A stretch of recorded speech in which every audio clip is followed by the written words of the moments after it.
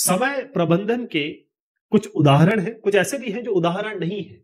तो समय प्रबंधन, समय जैसे मैंने कहा, किसी के लिए नहीं रुका आज तक। आज जो आपके पास समय है, ज़िंदगी जो है, सत्तर से अस्सी साल की है अब, किस तरीके से हम, और आधा आधा जो समय है वो सोने में निकल जाता है। तकरीबन आठ घंटे और दिन में अगर एक घंटे सोते हैं आप तो नौ घंटे आप सोने में निकाल देते हैं।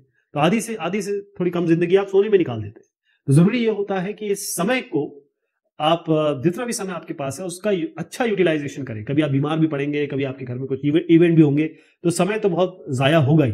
लेकिन जो क्वालिटी समय है, वो आपको खुद पाना है, निकालना है, समय आपको नहीं बोलेगा कि ये करिए, आपको खुद करना पड़ेगा।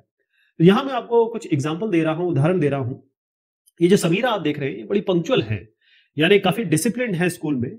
ये हर दिन एक शेड्यूल है इनका, यानी स्कूल का और अपना, उसको फॉलो करती हैं। ये पहले ही प्लान कर लेती है, मुझे क्या पढ़ना है और मेरा खेलने का समय क्या है? यानी कि मेरी, मेरे पास इतना समय है तो मेरा ये समय पढ़ने का है, ये समय खेलने का है, ये समय सोने का है। इस तरीके से इनका सब चीज़ें मतलब टाइम के हिसाब से, समय के हिसाब से इन्होंने प्रबंधन किया हुआ है। अब निशा का प्रबंधन देखिए, एक तो ये लेट आती है काम पे और, या कहीं स्कूल में लेट आती है, जो इनको असाइनमेंट्स मिलते हैं, जो भी इनको होमवर्क मिलता है या फिर ऑफ़िस में काम करती है तो प्रोजेक्ट मिलता है ये समय पे नहीं कर पाती है डेडलाइन कभी मीट नहीं कर पाती इसके अलावा ये कोई एक्टिविटी होती है, कोई कहता चलो यार पार्टी में चलेंगे, आज किसी का बर्थडे है, चलो यार, आज शादी है किसी की, चलो रिश्तेदारों से मिलने जाना है। वो सारी एक्टिविटीज़ में ये ज़्यादा ध्यान दे देती है या उसमें कैरिड अवे हो जाती है। और जो मेन काम है मेन काम क्या है? अपनी ज़िंदगी बनाना, अपनी लाइफ बनाना। क्योंकि जब आपके पास पैसे आएँगे, जब आपके पास अच्छी नौकरी होगी, तभी आपके लोग इज़्ज़त करेंगे, तभी आप एक क्वालिटी लाइफ जी पाएँगे, है ना? ना रिश्तेदार आपको पैसे देने आएँगे, ना आपके भाई बहन देने आएँगे, आपको अपनी ज़िंदगी खुद बनानी है।